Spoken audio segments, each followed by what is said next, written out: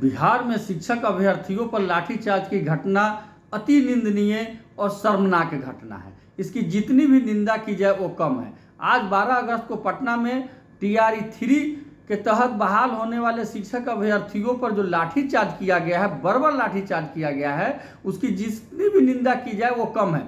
और इन तमाम घटनाओं का सिर्फ़ एक कारण है, जो मैं बार बार कहता हूँ, वो है सरकार और शिक्षक अभ्यर्थी अथवा शिक्षकों के बीच कम्युनिकेशन गैप चाहे वो शिक्षा मंत्री हो, चाहे माननीय मुख्यमंत्री हो, चाहे एसीएस हो डायरेक्टर डिप्टी डायरेक्टर हो, कोई पदाधिकारी अथवा नेता शिक्षकों की समस्याओं को सुनने के लिए तैयार नहीं है।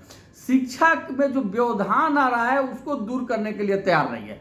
जब न खाता न बही जे कहीं से सही, सिर्फ़ अपनी बात बोल रहे हैं आज जो उनका मांग था, वन, एक पद, एक अभ्यर्थी। इस मांग में कुछ नहीं है। यह सर, उनका कहना है कि जो सतासी हज़ार पद है आप सतासी हज़ार रिज़ल्ट निकालते हैं और एक ही अभ्यर्थी तीन तीन चार चार दो दो पद पर हो जाते हैं। मात्र तीस से चालीस हज़ार बहाल होगी और पुनः होगी।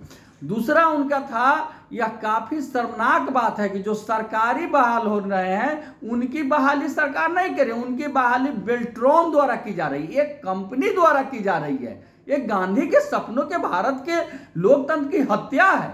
हम सरकार से मांग करते हैं कि आप तमाम जो बहाल हो गए हैं शिक्षक और जो बहाल होने वाले हैं, सभी के प्रतिनिधियों को बुला करके आप उनसे वार्ता कीजिए और उनकी समस्याओं को समाधान कीजिए। मेरा पूरा दावा है कि यदि आप वार्ता करते हैं, सिर्फ़ आमने सामने बैठ कर बात करते हैं तो आधी से अधिक समस्याएँ स्वतः समाधान हो जाएगी।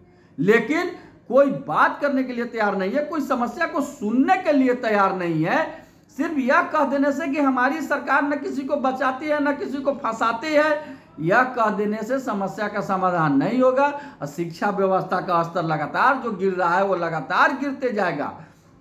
आज जो शिक्षक अभ्यर्थी पर लाठीचार्ज हुई है, आज ही सरकार को उन अभ्यर्थियों के प्रतिनिधियों को बुला करके उनसे वार्ता करनी चाहिए और जो समस्या है, उस समस्या को समाधान करना चाहिए, क्योंकि उनकी कोई बड़ी समस्या नहीं है। सिर्फ़ इतनी समस्या है कि आप पारदर्शिता के साथ, आप बिना किसी लाग लपेट के, बिना किसी घूस के, बिना किसी पैरवी के जितना सीट है, उतनी बहाली कर दीजिए। जो जो उम्मीदवार हैं, जो अयोग्य है, उनकी बहाली नहीं कीजिए। यही आप भी कहते हैं, यही उनका मांग है। लेकिन इस मांग को कोई सुनने वाला नहीं है, जिसके कारण आज उनको रोड पर उतरना पड़ा है और पुलिस को बरबर लाठीचार्ज करना पड़ा है। इसकी जितने लोग हैं, जितने संवेदनशील लोग हैं, शिक्षित लोग हैं, सभी निंदा करेंगे, भर्सना करेंगे। इसलिए हम सरकार से हाथ जोड़कर मांग करते हैं कि आप अविलंब हम लोग बार बार मांग कर रहे हैं कि शिक्षक अभ्यर्थियों की और शिक्षकों की काफ़ी समस्या है। शिक्षा व्यवस्था लगातार गिरते जा रही है। इसका समाधान तभी होगा जब आप सभी को बुलाइए और वार्ता कीजिए और उस समस्या का समाधान कीजिए। सिर्फ़ यह कह देने से कि अड़तालीस घंटा में समाधान हो जाएगा, बहत्तर घंटा में समाधान हो जाएगा, समाधान नहीं होगा। न मुख्यमंत्री की बात कोई पदाधिकारी मान रहे हैं, न शिक्षा मंत्री की मान रहे हैं, न किसी बड़े पदाधिकारी का बात मान रहे हैं। आज शिक्षा विभाग में लगातार अराजकता बढ़ती जा रही है। हम बिहार के तमाम शिक्षक नेतृत्वकर्ताओं से भी मांग करते हैं। हमने कहा था कि अगस्त में होगी ज़बरदस्त क्रांति, लेकिन मुझे दुख के साथ करना पड़ रहा है कि मैं विभिन्न नेतृत्वकर्ताओं से बात किया, लेकिन सभी ऐसे सिर झुकाए हुए हैं जैसे वो हारे हुए हों। मैं उन लोगों से भी आग्रह करता हूँ और शिक्षकों से आग्रह करता हूँ, शिक्षक अभ्यर्थियों से आग्रह करता हूँ कि आप कमर कस कर तैयार रहिए और सिर्फ़ व्हाट्सअप फेसबुक से काम नहीं चलेगा।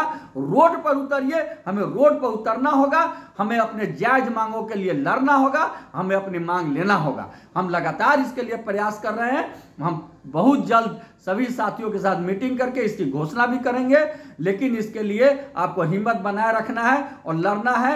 लड़ाई हर हाल में जारी रहेगा और हम अपनी उचित मांगों को लेकर रहेंगे। आपका केशव कुमार, प्रदेश अध्यक्ष, शिक्षक संघ बिहार।